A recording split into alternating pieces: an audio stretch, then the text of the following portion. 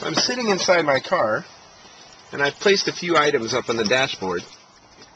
Here's the bright sun glare off my dashboard on the windshield of my car. And now I'm going to take my sunglasses, and you'll see the improvement in vision when the polarized light is blocked by the polarized lenses. There we go. There's the glare.